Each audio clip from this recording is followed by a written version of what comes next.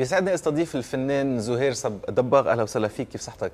أهلا وسهلا. تمام؟ أهلا وسهلا كويس. آه حضرتك من حلب؟ أنا من حلب نعم. آه حلب يلي هي منطقة بالنسبة لك آه مميزة جدا. قلت لي بدنا نبدأ الحكي بحلب. إيه آه الحقيقة حلب بالنسبة لي هي المدينة اللي ال- المدينة اللي اللي اللي عمرها 11000 عام.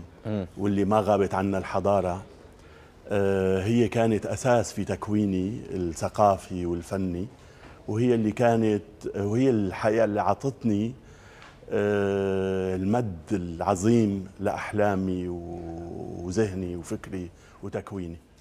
زهير دباغ حضرتك آه رسام وحضرتك نحات. نعم. آه كنت عم تقلي إنه الرسم والنحت مع بعضهم بيمشوا مع بعضهم مش نفس التقنية ولكن نفس آه الكلمات لنعبر عن style معين عن أداء معين. شو العلاقة بين أول شيء شو العلاقة بين الرسم والنحت وشو ال... وحضرتك شو ال link بيناتهم؟ هلا أنا بديت رسام ونحات من الطفولة يعني وكان شغفي ال- ال- الشديد بالنحت هو اللي اللي وداني للفن بشكل عام. لكن ما في نحات في العالم ما رسم وما بدي رسام لأنه النحت هو رسم لكن آه، رسم لشيء من من آه، أبعاد متنوعة من أعماق متنوعة. وبالتالي أي نحات هو لازم يكون رسام بالتأكيد. هل بتتصور يعني هل الشيء بترسمه أو الشيء بتشوفه؟ هل هل النحات هذا سؤال كان طول عمري حابب أسأله لنحات إنه هل بتشوف إن كانت صخرة أو إن كانت آه، آه، يعني بتشوف الصورة قبل ما تنعمل؟ الحقيقة آلية الإبداع عند كل فنان متنوعة في العالم. يعني في شيء لا يحصى من آه، آلية الدخول في عملية الإبداع. لكن بشكل عام متعارف كتير كتير إنك إذا كنت نحات بتاخد مادة صلبة وبتدخل عليها لتعمل منها شيء أنت بالأول بتحلم بتفكر بتتخيل وبعدين بتشتغل. آه، في آه، آلية تانية أحيانا بتبدأ بالعمل وب- وبتبدأ إشاراته مع عواطفك مع آه، إرادتك في أنك آه، تبتكر عمل فني.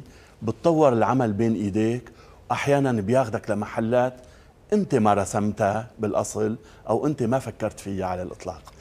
مشاهدينا الفنان زهير دباغ آه، موجود بلبنان لأنه في معرض تبعه آه، عم بيصير بجميزة ب Art on 56th هذا ال- الصاله بجميزة. لكن بدأ العرض وبعد في كم يوم بس لتلحقوا حالكم وتشوفوا أشغاله وأعماله الفنية. هلأ نحن عم نحط لكم الصور حاليا. السبت ب 15 آه، آذار لكن بيكون المعرض انتهى. ولكن ال ال الفن يلي خلقه هول هول اللي عم اعرضهم حاليا؟ نعم نعم.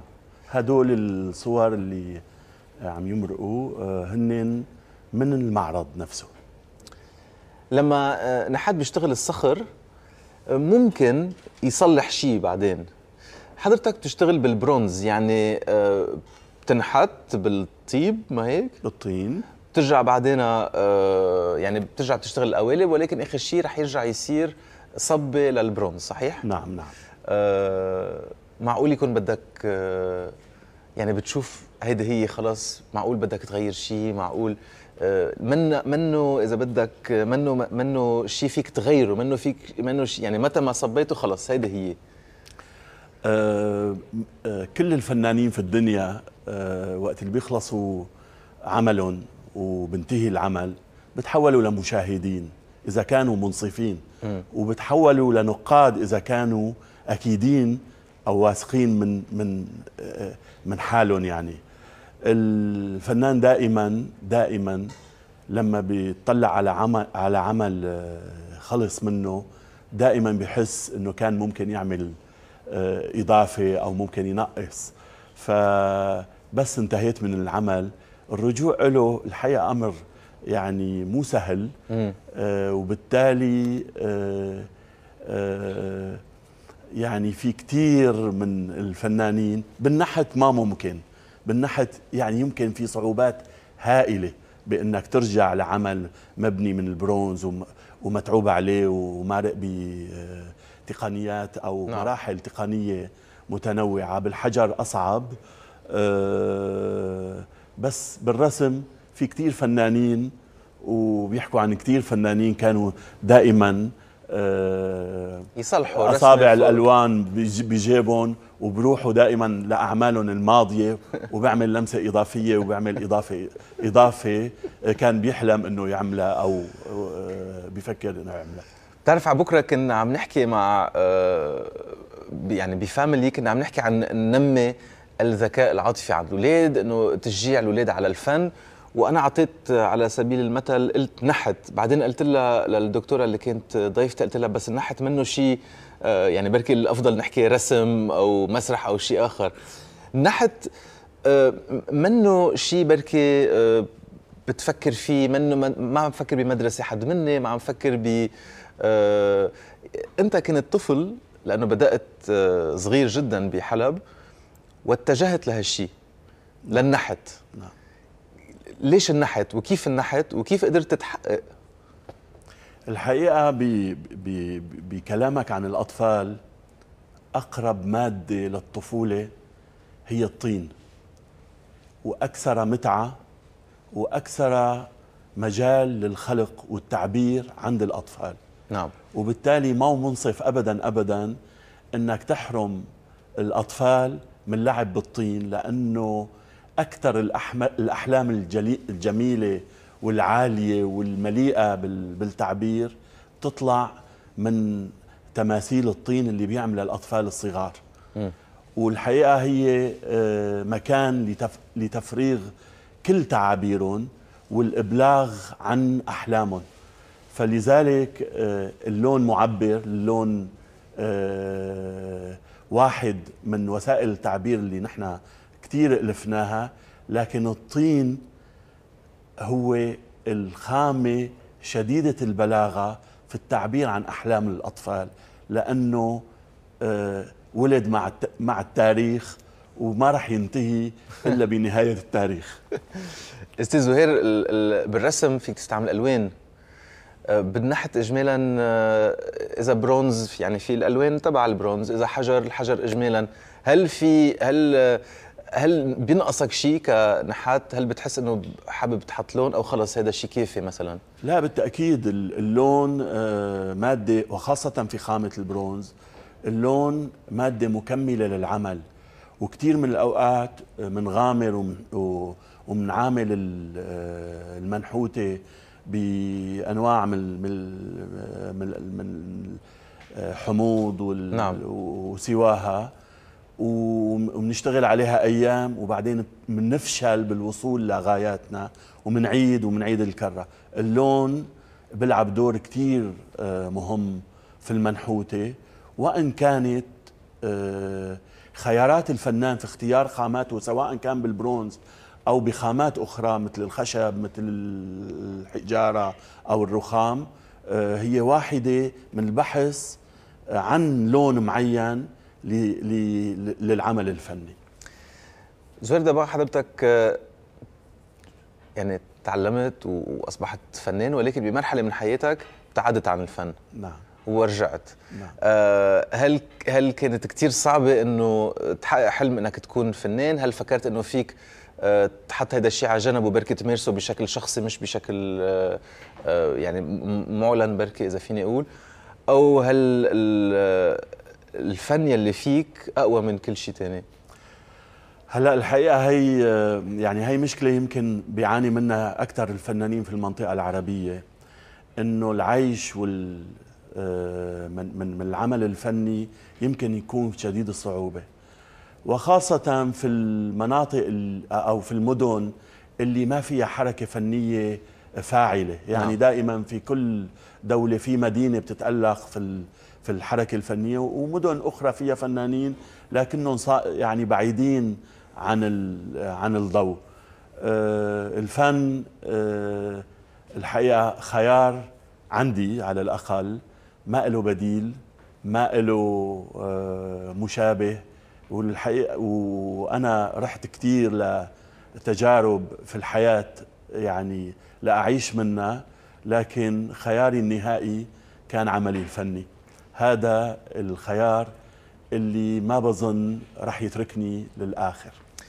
بالبعض الصور اللي شفناهم هلا اللوحات خاصة عم عم عم تابع كنت ولكن ما قدرت آه، آه، ركز على على الرسمات. في ألوان قوية في أشكال منا آه، دقيقة يعني كأنه حلم كأنه شو شو القصة وراء هاللوحات بركي اللي عم تعرضها حاليا؟ أنا ببني عملي على يعني ببني عملي ب بطريقة خاصة تقريبا يعني. يمكن يكون في كثير من الفنانين بشاركني هذا القصة. أنا بشتغل على العمل آه، بحس تجريدي بحت آه، بعيد عن الأشكال بعيد عن آه، الرسم بعيد نهائيا. وبعتبر اللوحة ملعب للمتعة أحيانا وملعب للتعبير. خياراتي اللونية متعددة كثير ما لها حدود. بحب, بحب اللون المشرق بحب اللون المتألق. وبعد ما بنتهي من هاي العملية عملية توزيع اللون وتوازنات اللون باللوحة آه، بيطلعوا آه، الأشكال عندي بيطلعوا الشخوص آه، يعني بيطلعوا تماما مع تكوين اللوحة. يعني اللوحة اللي عم نشوفها هلأ شو شو شو شو شو استعملت؟ هل هو آه، بترسم بالقلم وبترجع بتحط لون painting آه، يعني أو كله painted آه، شو التقنية اللي بتتبعها؟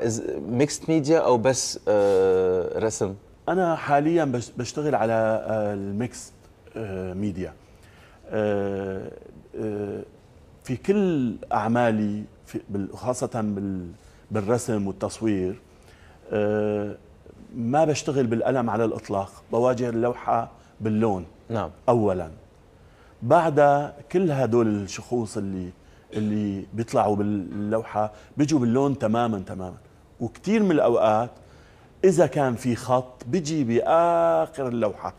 يعني الخط هو تتويج إن وجد وهو موجود كثير كثير هو تتويج آه، لهذا الإنجاز اللي بالنهاية بنسميه اللوحة أو بنشوفه عمل فني. هل الإنتاج إذا فيني أقول إنتاج عملية إنتاج آه، النحت قد إيه بياخذ وقت؟ عم بحكي من من مرحلة في أو من ميلة في عندك التفكير الفني. نعم. ومن جهة ثانية في عندك إنه في وقت معين في وقت تقني لأنه عم نصب قوالب لأنه عم نشتغل بمادة معينة بدها وقت لتتسخن أو تتبرد. آه، يعني في شيء علمي وفي شيء فني. نعم نعم. كيف كيف تتعامل فيهم؟ وهل أنت آه، يعني بتتدخل بكل البروسيس يعني هل من من نحت على الطين لحد ما يطلع برونز إيدك آه، والفنان يعني بيكون موجود؟ آه، أنا دائما موجود مع عملي الفني من الأول حتى عرضه للآخرين. لأنه بحس إنه كثير عندي مسؤولية تجاه هذا العمل. كثير كثير من الظلم إنك تترك عملك بمرحلة معينة للآخرين لأنه بالتأكيد بالتأكيد رح يتدخلوا فيه. فأنا من البداية من من حلمي بالأولي بابتكار عمل أو إبداع عمل آه، آه، آه، بيدخل بمراحل مثل ما قلت إنه متنوعة كثير كثير برسم وبعمل تخطيطات للشغل. وبعدين ببني هيكل العمل. هي عملية تقنية ما لها علاقة لكن يعني برافقة قليلا من الحلم قليلا من الصبر قليلا من يعني عملية كثير متشابكة. آه، فيما بعد بس انتهى العمل. تدخل في عملية مضنية من صب القوالب ونسخ النسخ وتحويله إلى شمع وسواها أنا برافق كل هاي المراحل. طبعا بيساعدني ناس لكن في آه، في كل مرحلة دائما إنهاء العمل هو آه، بيطلع من تحت إيدي. ما ما بمرق من من إيد الآخرين. هالمعرض لكان يلي صار له آه، كم أسبوع وبينتهي نهار السبت ب 15 اذار بجميزه Art on 56th معرض للفنان زهير دباغ. في معرض تاني عم بتحضروا بمكان آخر ببلد آخر؟ يعني في آه، في اتصالات لأماكن متنوعة لكن المعرض دائما بيكون محطة. لانك تبدأ من جديد أو آه، تنطلق من جديد لأماكن أخرى وتتواصل فيها مع الآخرين. هل أنت آه، إذا فيني أسأل سؤال مبسوط يعني رجعت للشيء اللي بتحبه وللتجربه اللي كنت بدك إياها؟ هل حققت هال هالشيء؟ أنا سعيد الحقيقة كثير كثير بعودتي لل آه، لعملي الفني لكن سعادتي الكبرى هي يعني استمديتها الحقيقة من كثير من الأصدقاء اللي دائما كانوا وراي دائما كانوا آه، بيطالبوني بالعودة للعمل الفني ودائما بيلوموني إن أنت وين رايح؟ وين رحت؟ وين رايح؟ أنا اليوم رايح على عملي الفني بدون عودة منه شكرا لزيارتك أستاذ زهير دباغ أهلا وسهلا فيك مشاهدينا رح ناخذ break سريع ونرجع نشوف شو عم بيصير بالمطبخ. أنا عم دمع من ريحة البصل وال... إلى آخره. break سريع وبنرجع لكم.